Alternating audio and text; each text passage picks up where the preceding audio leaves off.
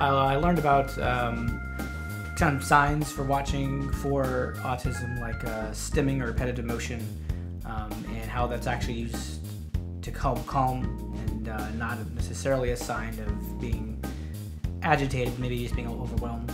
I learned about the idea of uh, visual scheduling um, and being able to lay things out and kind of uh, in kind of a clear, organized way, but not going too fast so that there's time to process each sort of step.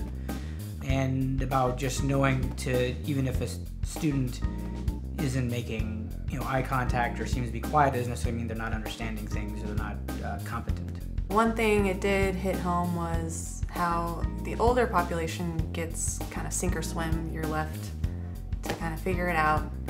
And that just shows me, you know, why, especially music, is really important for people with challenges because it gives them a passion, which will help them, which gives them a path to work for. And so then they will want to create a life for themselves.